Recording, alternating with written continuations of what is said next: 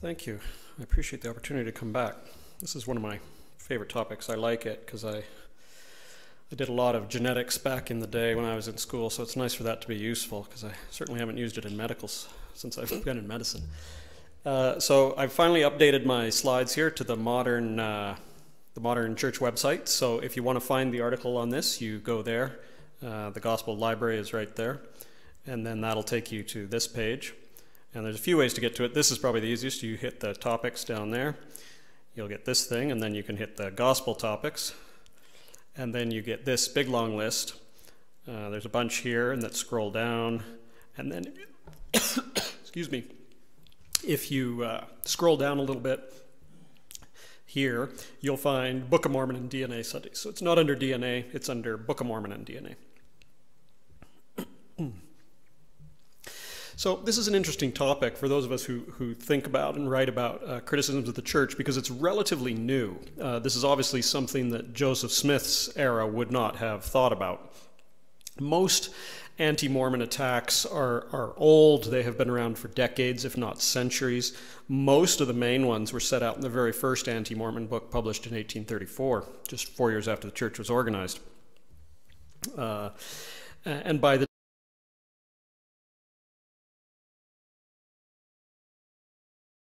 uh, responding to these sorts of things is basically a case of saying that's been asked and answered and, and saying yet again the answer that, uh, or the answers that have been out there for a long time. But this one is new. It really only kind of showed up uh, around the turn of the millennium. But even it isn't entirely new. Uh, it's really just a new approach on an older thing that I saw in the late 1980s. Uh, and was uh, confused by for about half a second until you think about it, um, which we'll do together tonight. Uh, it was based on blood types. So sort of the same thing. I mean, blood types are coded for by DNA. DNA is just kind of a more detailed way to look at the same sort of thing. So the idea or the criticism was, uh, if you look at this, this shows what percent of populations in various areas have blood type O. And uh, you'll notice that Central and South America there, uh, 90 to 100% of the natives of that area uh, are blood type O. And then if you look over to the Middle East there, you'll see that it's 50, 60, maybe 70%. And so the claim is, well, if you took people from the Middle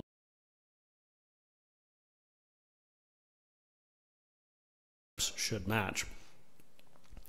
Uh, there's the same kind of idea. You can see that Native Americans are almost all O and a little bit of A, whereas uh, others are not. And same kind of thing here. This is the blood type distribution of today's Middle East. You know, so it doesn't look like the, uh, the Americas at all. Uh, and so, uh, the same argument to answer that is the one that answers this one. Uh, and so we'll go through it a bit in some detail. And it's useful to do because it is a question. People, unfortunately, have left the church over this, though uh, uh, that's really unfortunate because it shows they or the people they're listening to don't understand basic genetics. Uh, but it's also useful because it shows us how to think about problems that trouble us. It's, it's a good example of how to approach something that worries you. So we're going to take it kind of, this is how I would go about it anyway, if I was thinking about this for the first time. So the basic argument is this, and this is useful to do. It's useful sometimes if you're struggling with something like this to put it down on paper and to say, okay, what, what is exactly being claimed? Do that in as much detail as you can. So we're going to do that here. There's basically three points to the argument. Point number one the Book of Mormon claims to tell us about a group of people who came to settle the New World from Jerusalem at around 600 BC. Point number two it is possible now for us to examine the DNA of living and to some extent dead American Indians. You can dig up, you know, uh, preserved bones and stuff, and you can sample the DNA in the bone. And the third point is when you do that, the DNA you find is of Oriental origin, not from the Middle East. Therefore, Book of Mormon false. So when you're faced with a scientific claim, especially like this, you should break it down and decide what parts are true, which are false, and which you don't know. So let's do that with this. So, first question Does the Book of Mormon claim to tell about a group of people coming to settle the New World from Jerusalem around 600 BC? Yes, it does. Can we examine the DNA of living and dead American Indians? Well, yes, we can. And three, uh, is that when we do that, is that DNA shown to be of Oriental origin? Well, yeah, it is. Oh dear. So, do we have a problem? Well, many people will stop there. Sometimes, though, uh, we build assumptions into our argument. Critics might do it intentionally, or we might do it unconsciously. So I want to go through it point by point. We're going to look at what assumptions are built into these statements, which, yeah. There we go, are we back in? Ah, good. So we're going to go point by point.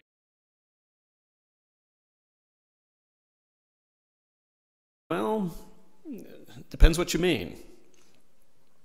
So here's the first one, and it's the longest. So, Book of Mormon tells us of a migration in 600 BC of people from the Middle East. So, this point has some things that are assumed that we may miss. The Book of Mormon does tell us about a group that came to settle the New World.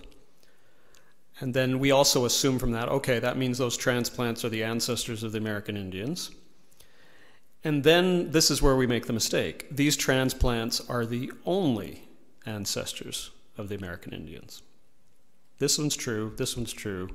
This one, as we will see, is almost certainly false. So, what does the Book of Mormon say about it?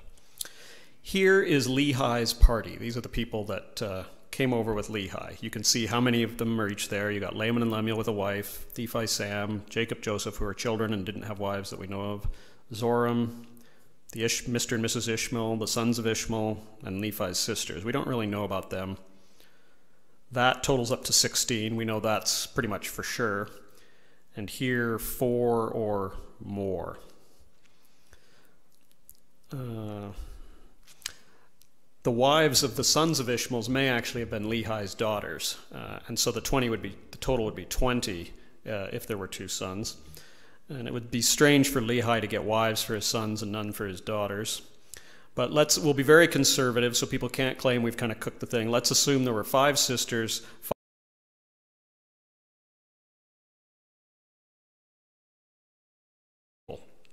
so at the outside, I think you have a group of 34 people. Uh, it was probably less than that, but we'll, we'll say 34 to, to be safe. So that means we have 34 people's DNA, right? Well, well, not so fast. Lehi and Sariah had children Laman, Lemuel, Nephi, Sam, Jacob, Joseph, and the sisters. Uh, Lehi and Sariah are two people, and those children will all share their DNA. If, if you don't understand that, then you need a birds and the bees talk, and I'd be happy to give that to you later. Then you got Mr. and Mrs. Ishmael, who are the sons of Ishmael and Lehi's, the Lehi's male's wives. Again, only two people. Uh, so again, there's only two people's DNA there. And then we have Zoram. The cheese stands alone. He's, you know, he marries into the Ishmael family, but uh, he's not part of the family, so he brings his own DNA to the story. So he has one. So really, we only have about five people's DNA. Maybe that's a little higher if those other, if the other wives, if the sons of Ishmael's wives aren't there, but call it 10, 10 people at most. So now I want you to think about this. All right, well, if that's true, if we have about 34 people with 5 to 10 different gene donors, how well does a population do for 440 years, which is about 22 generations, if you have only 5 gene donors? The answer to that is they do poorly, unfortunately. Um, a good way to look at this is the Amish who live in the eastern United States. They're the ones who don't use electricity, stuff like that. They live kind of like the 19th century. Um, so they have a small population, and the missionary program for the Amish uh, is not a robust one. There aren't tons of people flocking to join the Amish. Uh, only 75 people have become Amish, Amish since 1950 and almost all of them are descended from only 200 people who came to the United States in the 1700s. And as a result, because they marry among themselves and they have very little what's called gene flow into the population, uh, they are at higher rates of metabolic illnesses and some other congenital diseases. The reason for this is that when they get defective genes, as long as you have one gene that works, you're fine. But as soon as you start crossbreeding, bad gene, then you have a 25% chance of having a child with a sickness. One of the groups, the Lancaster group, comes out of only a few dozen people, so about the size of, of this group that we're thinking about Lehi having. Um, here's what happens. They have something called Ellis Van Creveld syndrome or chondroectodermal dysplasia. There will be a test on the end on that. It's due to two gene effects in the Old Order Amish, and the Aborigines in Australia have it too. Normally, in the general population, it's 1 in 60,000 the old order Amish, it's 5 in a 1,000, so it's over 300,000 times more common. And up to 13% of the Amish may carry one of the genes for it. 50% uh, of those babies die before they're born because of heart defects. And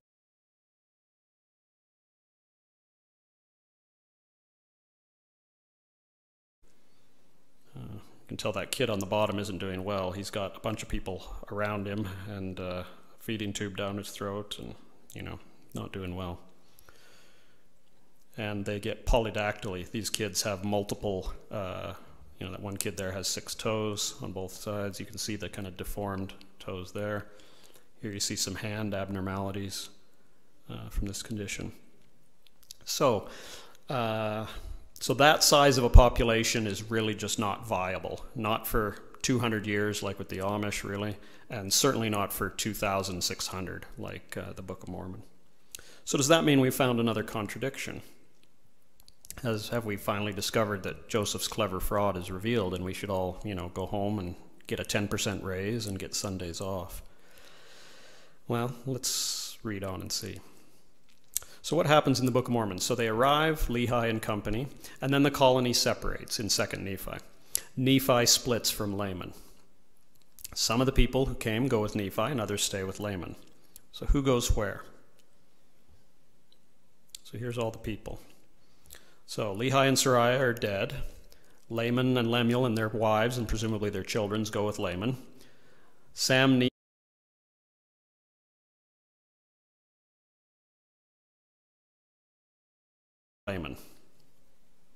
That's everybody. Here's the scripture. Came to pass that I, Nephi, to take my family, and Zoram and his family, and Sam, mine elder brother, and his family, and Jacob and Joseph, my younger brethren, and also my sisters, and all they who would go with me. And all those who would go with me were those who believed in the warnings and the revelations of God. Wherefore they did hearken unto my words. Okay, so there they all are. But who's this, all they who would go with me? The only people unaccounted for in that list are Laman, Lemuel, and uh, the sons of Ishmael. So there's somebody else that's going with Nephi, and it sounds like quite a number of people going with Nephi.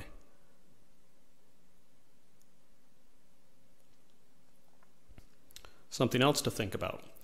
The Lamanites are always said throughout the entire Book of Mormon, they're always said to outnumber the Nephites. So where do they get the bodies? I mean, Nephi just took most of the colony with him right there if they're the only ones on the scene. Alma says about apostates later on, their souls are precious and many of them are our brethren. So the Lamanites, the Nephites, and the Mulekites, who they meet later, you remember with King Benjamin and King Mosiah, they're always called the brethren by the Nephites. So why are only many of them their brethren? Who are the other ones? Mormon also talks about another people who are in the land of Bountiful near the narrow neck that Moroni worries will ally with them against the Nephites. Again, we're not really told who those people are, but they're clearly not Nephites. Also, we know from archaeology the entire American hemisphere was peopled well before 600 BC. Probably by 14,000 BC or 12,000, they had reached Tierra del Fuego, the very southern tip of South America. So there were certainly people there when Nephi and Lehi got there. Also, some of the Nephite crops, including corn, which is uh, the first crop always mentioned by the Book of Mormon, uh, it doesn't grow wild. It, you can't just show up and have corn growing. You have to have human help to grow it. And so, because of that, Lehi's group would have had to have learned how to take care of the plant, and there had to have been somebody who was already taking care of it to teach it to them. And finally, Nephi says that within 40 years of them arriving, they'd had wars and contentions. So let's assume, which is pretty generous, that every family had six children that lived to adulthood. That would be extraordinary. Uh, then Lehi, Nephi's initial group, without anybody else, would be 24 people. And let's give them a growth rate that's double the highest growth rate ever seen in the developing world. And let's assume that no one dies prematurely, which is uh, quite an assumption in the pre modern world. So then at the 40 year mark, there'll be 330 Nephites. But let's be fair, a more reasonable number would be about half of that, since people do tend to die early in these societies, especially children. The mortality rate of children is probably at least 50% by age 11 are, are dead. So that's 165 people, realistically. And that is still higher than any growth rate that's ever been observed for a, a non modern country. Laman's group would have to be smaller than that because fewer of them stayed with him. So, how do you have a war with 165 people? Even if you say every male fights, that's only 82 men, boys, and infant boys. That's every male, every male there versus a smaller army of the Lamanites. And everybody that you kill in that battle is not going to be around to add to the numbers or to have children or anything like that. And so it just makes the numbers worse and worse. And plus, they're all inbred, you know, and probably suffering from genetic illnesses if you do that. So to summarize, it's impossible for Lehi and company to have found an empty hemisphere. Uh, we know that, that archaeologically. There were millions of people in the Americas when Lehi arrived. And the Book of Mormon mentions some of those people and implies their presence at other spots, if you know where to look. And the early saints, including Joseph Smith, never seemed to notice that. They weren't terribly close readers of the Book of Mormon then. And so that's curious because you have this, this stuff that's really quite obvious when someone points it out to you. But Joseph and company didn't recognize it. So once again, you have Joseph Smith producing this complex, involved book uh, that all hangs together, and yet Joseph, in some ways, doesn't seem to have understood it or read it. But the clues are all there. So, John Sorenson, one of the first people to do this kind of work, said this Hereafter, readers will not be justified in saying that the record fails to mention others, that is, other people besides the Nephites and Lamanites, but only that we readers have hitherto failed to observe what is said and implied about such people in the Book of Mormon. So you remember, they are not the only ancestors of the American Indian.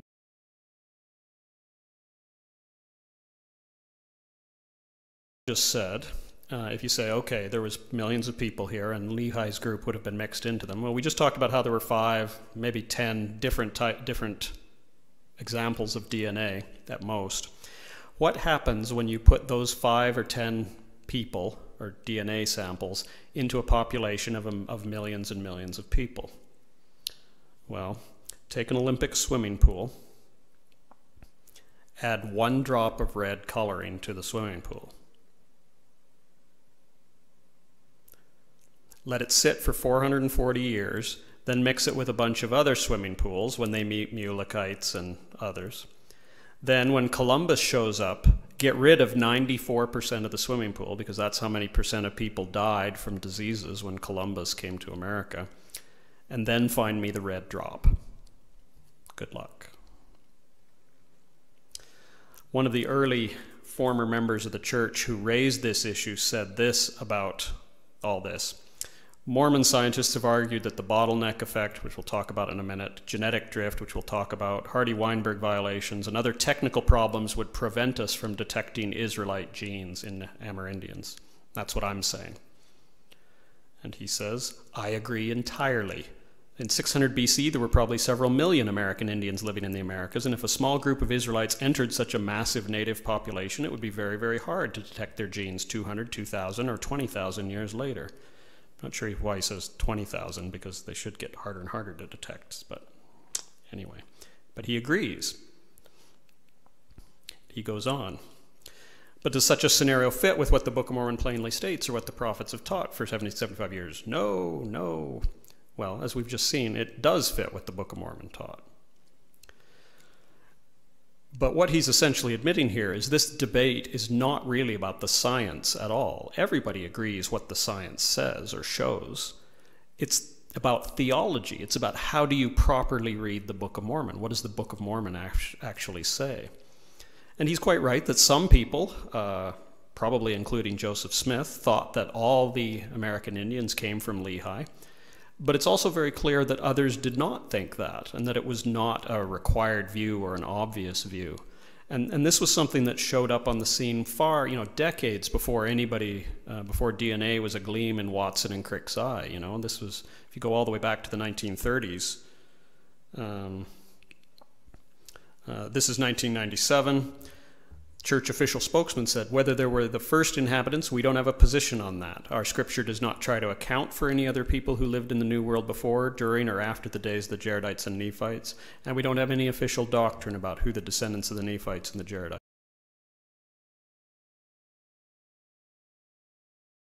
Remember, the first presidency said, we must be careful in the conclusions that we reach. The Book of Mormon does not tell us there was no one here before them and it does not tell us that people did not come after.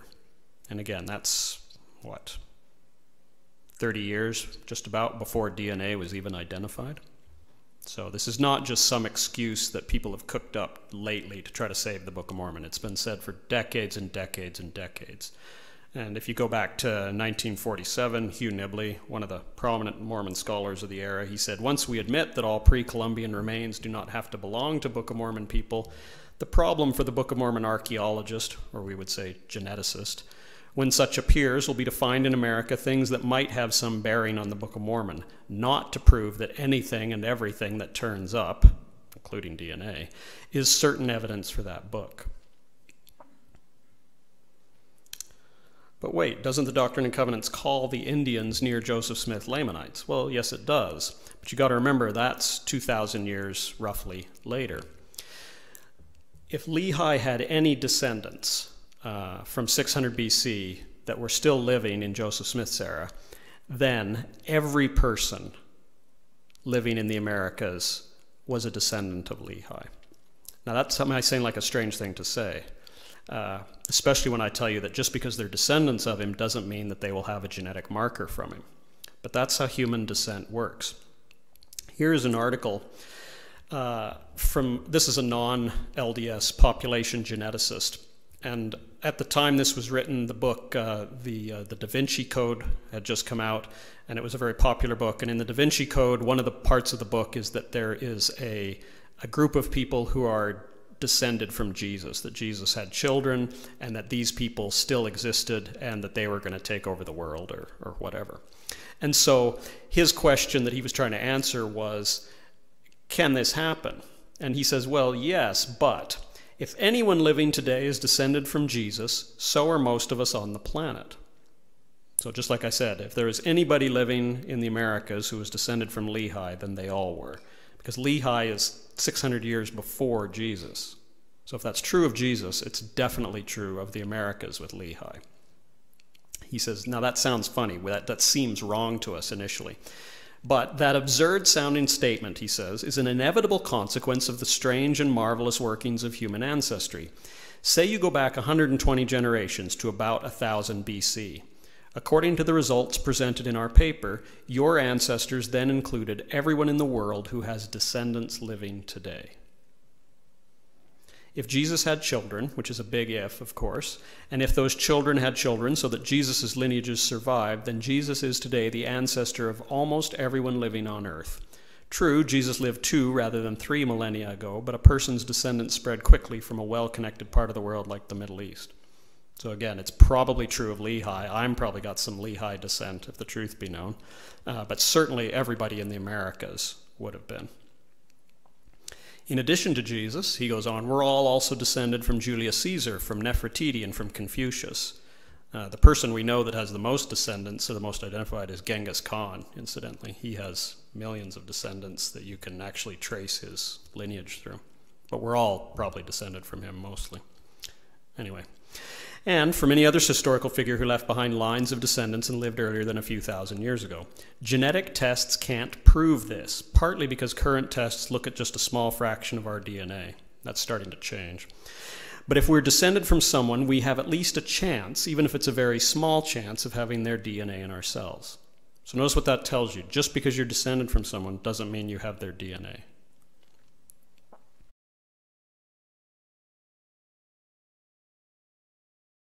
Other people are not, but human ancestry just doesn't work that way, since we all share the same ancestors just a few millenniums ago.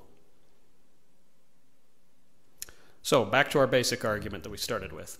The first argument Book of Mormon claims to tell about a group of people coming to settle the New World. Well, that's not quite true if you pack all those other assumptions into it, that they were the only ones, etc., and that we'll be able to detect them. Uh, that's not true. So if that's not true, then the argument fails. We could stop there, but let's just go on and see how the rest works. We could rewrite this and say the Book of Mormon is about a very small group of people coming to settle the New World, which already had millions of people in it from Jerusalem. That's correct, but that's quite a different claim with quite a different implication for the Book of Mormon's truth or falsity. Next, point number two, we can examine the DNA of living and dead Amerindians. Uh, and so this, at this point, people are saying, well, can you really lose a genetic signal like that? Yes, yes, you really can. Here's a study in Iceland. Iceland works well for this sort of thing because it doesn't have a lot of people, and there are very few people that move into and out of Iceland. It's relatively isolated. It's out in the middle of the Atlantic. You know, nobody else speaks Icelandic. And so they did a study where they traced the lineage of all about 130,000 people that are currently living in Ireland, in Iceland, the whole country, everybody. This compares people uh, who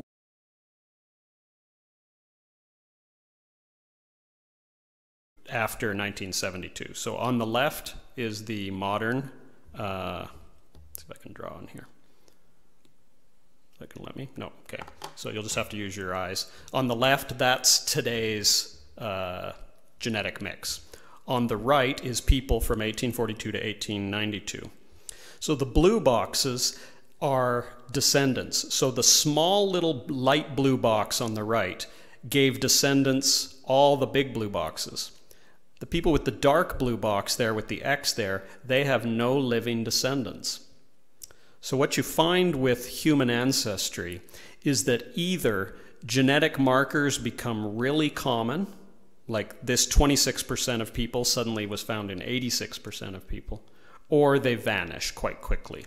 And that's what happened to the top. Then you've got the orange bit at the top. Those are people who, who weren't tied into this group. Presumably they're immigrants or some, some other source. So this group gave all that group. If you go back even further to say the to 1698, you know, another century or so, look how many people no longer have descendants. 89%. Only 10% of the population gives you all that. So, can you lose genetic markers? Yes, indeed you can. You totally can. And then there's this group up here again uh, that they can't uh, tie into the group they've got. So it turns out gene markers do disappear, even over relatively short time spans, just a couple of years. All that was over 300 years. Now do that for 2,600 years and add millions of other people to dilute it out, which they didn't do in Iceland. They were using the entire country. So we can measure American Indian DNA, but we can't know if we have identified all the markers that existed there in 600 BC. We almost are guaranteed that we cannot. Here's an interesting example. This is by Ugo Perego. Uh, Ugo is a, uh, a member of the church from Italy. He has a PhD in genetics and studies early uh, Native American uh, population and gene spread. So he probably knows more about this than anyone on the planet, literally, or at least as much as most people know. He gave uh, an interesting example from the church's essay that I'll just read to you here. he, I've heard him use this example for himself. He says, My genealogy confirms that he's a multi generation Italian. He knows who his parents, grandparents, etc. are. He lives in Italy, for crying out loud. Uh, I've been to his house. It's lovely. He's got uh, olive, branch, olive trees all around. And, know, so he's Italian, believe it. He looks Italian. But the DNA that he did of his paternal genetic line is a branch of the Asian Native American haplotype C. So this means that somewhere along the line, there was a migratory event from Asia to Europe that led to the introduction of DNA that's not typical of his place of origin. So he has a great great great grandmother somewhere who had a child with somebody who was not Italian and was from quite far away. Now, imagine that Perego and his family are Lehi and company, and you put them in the Americas, and they have lots of kids, and then later you go back to measure his descendants, and you trace their chromosomes, and you say, oh, group C. Well, that's not the Middle East, that's not Italy, that's Asian. So you've just proved that Perego is from Asia. Well, no, you haven't. It's just that's how these markers work. He's an exception to the rule, and so what you see from him doesn't match what you would expect. And so what this shows is that people who use this argument really don't understand the genetics. They don't understand the science uh, and aren't listening to those who do. Because like I said, if anybody understands, it's Ugo. There are more problems with this what does Lehi's DNA look like? You know, we're using the Middle East as if that tells us something. But there's a few things you need to remember. Lehi left before the Babylonian captivity. If you remember when the Babylonians came in, they took a whole bunch of people and they drug them off to Babylon. You know, that's where the Jews ended up. There were huge population shifts that have happened since then. So what on earth makes us think that the DNA of the Middle East today would match Lehi? Or even most of the people in Lehi's era? That's just naive. Plus, Lehi isn't Jewish, he's from Manasseh. Manasseh is one of the lost ten tribes. Have you got a whole group of Manasseites kicking around somewhere that I can test their DNA and figure out what their markers look like? No, we don't. So using Jewish DNA isn't even a, necessarily a good marker for Lehi. And individuals aren't clones. We saw that from Ugo Perego. I mean, we know Ugo's from Italy. Most Italians would have typical Italian DNA, but for whatever reason, Ugo doesn't. So if you happen to pick a Yugo, you're going to screw up this entire approach to solving the problem. This is called a genetic bottleneck. Bottleneck, here we have a whole bunch of beads in a bottle, uh, but you can only get a few out of the bottle at a time. And so, just by chance, the bottle that you get out, or sorry, the bead you get out is one of these yellow ones. There's very few yellow ones in the population there. You know, those could be Yugo's type of people. Uh, but just by luck, we pulled Yugo out of the out of the mix that's in Italy, and that's what we got. And then if you send Yugo over to somewhere and have him and his family reproduce, you're left with only yellow ones. The yellow ones don't look anything like where they started from. That's a genetic bottleneck. That's what happens with this. So unless you can tell me precisely what Lehi's DNA looked like, I have no way of knowing if the yellow matches him or not. We only have five people, remember. And they're living, they're Manasseites that are still living in Jerusalem, even though the ten tribes have been carried away. So they're already a little bit unusual, you know. They're a little bit of outsiders, even as it, as it stands. Here's something else. This is called genetic drift. Genetic drift happens as you have less survival just by random chance of various markers. You look at the first one, they start out equal. Just by chance, more blue ones survived into the next generation. What that means, though, is that there's going to be a pressure so that more and more blue end up in there just by chance. And before you know it, you're left with only blue and no red markers. That could very easily happen with Lehi and company. Uh, in fact, we know it happens. Uh,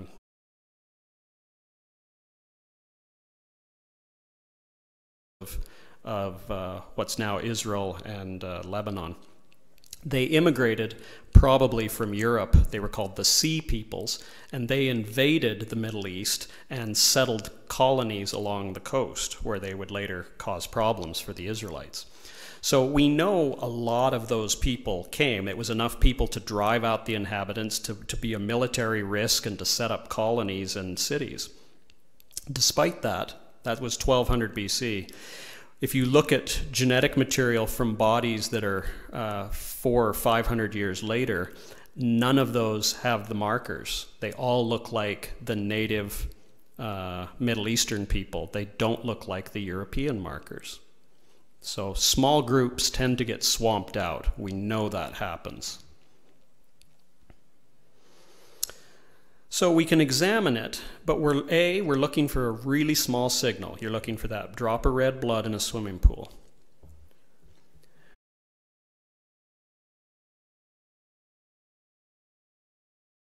Found it. We could be staring right at it.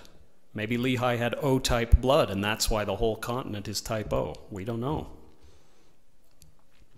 And even if we did know, uh, we don't have a modern sample for Lehi to know when we've got a match. And if it once existed, it could be gone now, even if it was there. Remember, 94% of the population of Indians, Amerindians, that were in the North and South America before Columbus came died off from disease. That's, gonna, that's a bottleneck event in spades. And uh, the, the, the, another problem is that there were people who came from Asia and Europe and the Middle East to the New World after Columbus. So if you find a marker in a modern day 21st century Native American, how do you know that that marker came from Lehi's time and didn't come later? There's no way to tell. There's no way to tease them out. So that means you need to find DNA markers in dead bone, more than 500 years old, and that is not easy. In that uh, Philistine study that I told you about, they found over 100 samples, they could only get DNA out of about 10% of them. So the sampling is really spotty. And finally, no studies have been done to test the idea anyway. You can't take studies that were designed to, to look at one thing and just madly extrapolate them onto the other. There's never been a study designed to test this theory, and I'm not even sure you could design such a study. I'm not sure what it would look like. We don't even know what we're looking for. There's an LDS geneticist. This is a gentleman who works for the national standards uh, in the United States. He has literally written the book on DNA testing for criminals. His name's uh, J.M. Butler. You see some of his books here. He's got many editions of them, Forensic DNA. And this is what he said. He said it's important to keep in mind that reference samples are needed, to, always needed, to provide relevant results.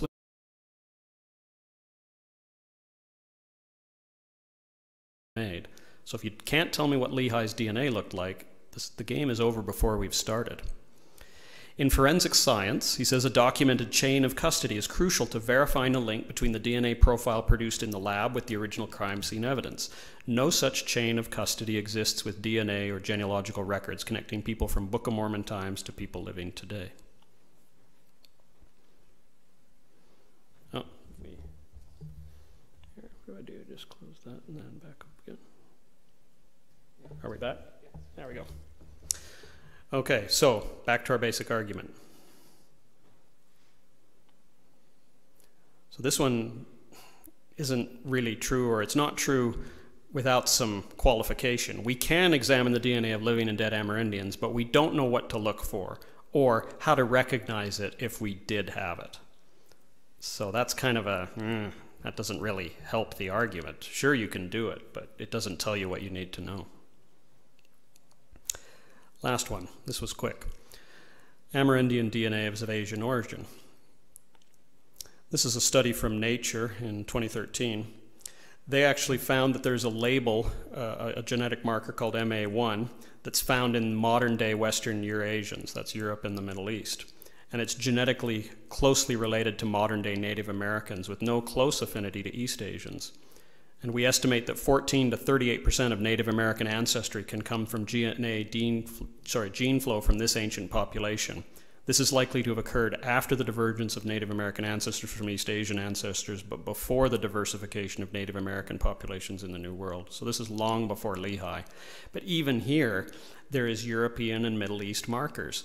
So again, tell me, how do you tease these markers out from another marker from Lehi's day? If Lehi happened to have this marker, you're not going to find him. He's going to blend into the background. So this one isn't even particularly true. It includes the Middle East and some from Europe, but all that predates Lehi. So the story is much, much more complicated than the critics would have you believe.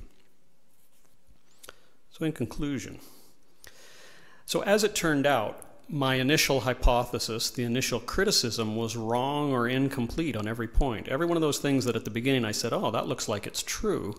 When I dug down a little bit, it turned out not to be true at all, or true in ways that didn't help. So, the Book of Mormon does not claim to exclusively talk about people from Jerusalem. Examining the DNA of living and dead American Indians can be done, but it isn't helpful at this stage. And that DNA isn't all of Oriental origin anyway. So here's the current state of the evidence. So, what are the broader lessons you can learn from that? So, it learns when you encounter something like this A, you need to slow down, you need to take a deep breath. It tells you that you have to make explicit what you're thinking about and what you're claiming. It tells you that you shouldn't trust the science or the evidence that someone who's attacking the church gives you. I don't know if they're ignorant of the science or if they're deliberately hiding it. I'm not sure which is worse to know that you're doing it wrong and do it, or to be so ill informed that you're willing to shoot your mouth off. But I guess we all do that on occasion. So the, the science here is complex, and it takes an expert to guide you through it. Uh, and without that, you may feel kind of lost. And that's true a lot of things uh, about questions of the church. You may need someone with an expertise in history to, to guide you. You may need someone with an expertise in language. You may need something with an expertise in American culture in the 19th century. There's many things you may need help on. You can't always expect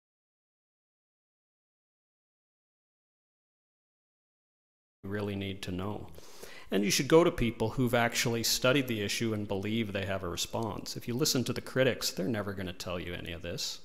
Uh, they've told you what they want you to hear or what they believe, and they're not going to help you solve the problem. And if you keep going to them, you're just going to spin round and round and get more and more convinced that they're right. You've got the blind leading the blind.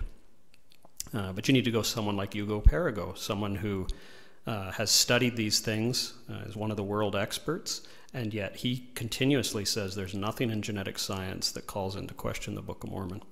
And from everything I've read and learned about genetics, I think he's absolutely right. I, I think it would be extraordinary. Uh, which brings up another lesson. There are some people in the church who try to use genetic evidence to support the Book of Mormon. That doesn't work either. Those efforts are all deeply, deeply flawed, and you shouldn't trust them either. They don't know what they're doing there. Uh, this is just an area that science is not going to help you. Uh, it can't answer the question we have because you're dealing with such small people uh, in such a big group.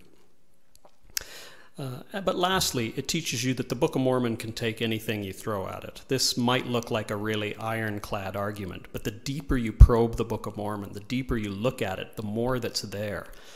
Again, the fact that you can find these others there that Joseph Smith has in there. It's in the translation. It's there. It's always been there, but nobody noticed. That is extraordinary. I mean, A, it's extraordinary that it's there to find and that we can tease it out.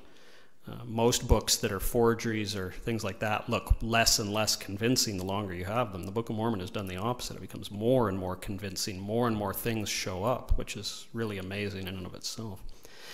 But even more importantly, I think Joseph Smith and those he uh, taught did not seem to figure it out. Uh, so, if you believe Joseph is faking all this, you have to have him clever enough to solve all these problems and then never call attention to them and just leave them there as little time bombs to blow up when we need them. That, to my mind, takes more faith than believing an angel brought him some plates and God helped him translate them. The Book of Mormon is true, and DNA and all the science that you can throw at it will not change that. I leave you that in the name of Jesus Christ. Amen.